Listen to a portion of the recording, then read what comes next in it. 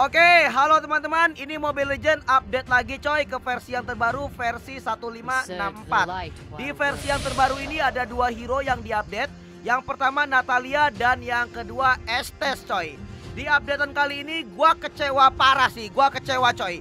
Jadi di sini Natalia di nerf yang di nerf itu dari silentnya ya. Di mana silentnya itu akan cuma aktif kalau kita menghilang sebanyak dua kali. Oke, di sini kita coba jadi di sini kita baca dulu ya. Di sini katanya kata monton. Yang pertama, oh di sini atributnya coy, atributnya dinaikin, pertumbuhan HP dinaikin dari sebelumnya 134, ini naik menjadi 154. Dan yang kedua di sini ada dari pasifnya yaitu dari silentnya. Basic attack yang diperkuat sekarang meninggalkan mark kepada target. Target akan di silent hanya ketika mark tersebut diaktifkan oleh basic attack yang diperkuat berikutnya. Nah, jadi gini coy. Jadi sekarang kalau pertama kali kita menghilang dan kita basic attack, itu kita nggak bisa langsung silent. Set. Nah, itu kita lihat. Jadi di atas kepalanya musuh itu ada seperti simbol warna ungu. Itu itu nggak langsung aktif ya.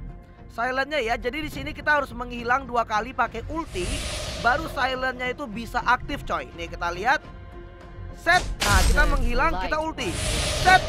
Nah, itu itu baru silentnya aktif. Jadi kita harus menghilang dua kali coy. Kalau sebelumnya itu kita menghilang satu kali dan basic attack itu langsung silent. Kalau sekarang enggak ya. Aduh ini parah banget coy. Nih kita lihat set. Nah itu enggak langsung silent. Kita menghilang kita basic attack. Set. Nah itu baru silent. Kita lihat di atas kepalanya musuh itu namanya berubah menjadi silent. Ini merugikan banget sih.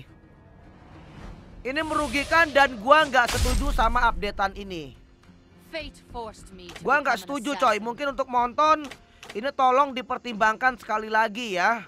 Set. Nah nggak langsung silent, kita ulti lagi baru silent. Nah itu baru silent coy.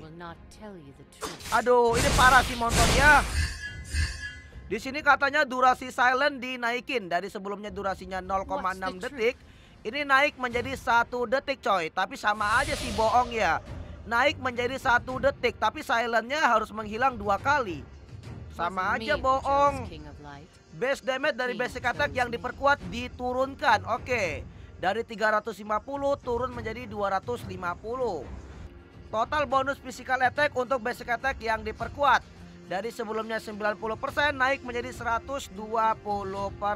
Oke naik bonus physical attack-nya. Oke, lalu untuk yang kedua oh, ini ada dari Estes. Nah, untuk Estes ini akhirnya di buff coy. Yang di buff itu dari skill satunya ya. Jadi yang di buff itu dari darahnya coy. Skill satunya itu darahnya dinaikin dari sebelumnya 200 sampai 350. Ini sekarang penambahan darahnya dinaikin menjadi 250 sampai 400 coy. Oh, kita lihat darahnya bertambah.